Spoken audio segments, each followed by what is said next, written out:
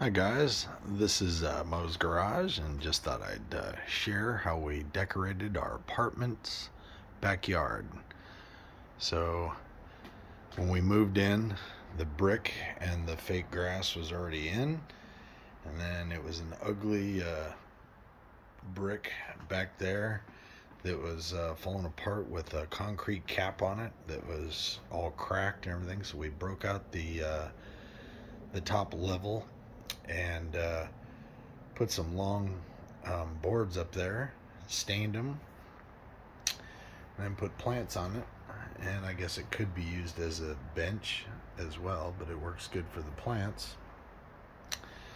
So what we did is, and then I put a little armrest there, put a plant on it, and uh, put a little table.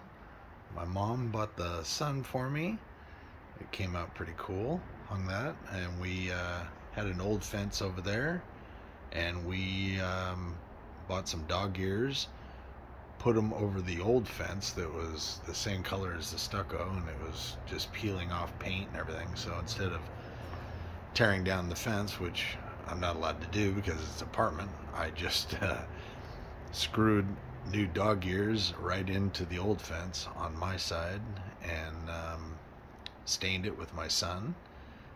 And then uh, we put a gazebo in and uh, hung some candles up there. Put a nice little table and chairs. And uh, check it out. Yeah, it came out kind of cool. It had an outlet for um, the hose. We picked that up at uh, Home Depot put this up there. That's from like Home Goods.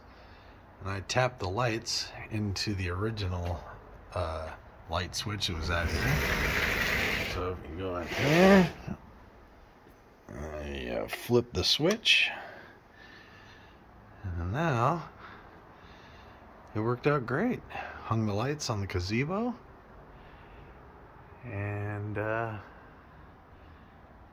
and then I got an old pallet from work, and uh, my son and I came up with an idea to put a fake little roof on it. Cut the boards at different angles, you know, different lengths, I should say, and uh, stained it the same color as the fence, the one over there, and Home Depot again for a couple of little tiny plants it came out pretty cool. Yeah, it's uh, there's all kinds of things you can do with pallets. So it came out all right. Yeah. It's just starting to sprinkle right now. It's supposed to rain tonight and through tomorrow. But uh, just thought we'd share. So you guys have a good night.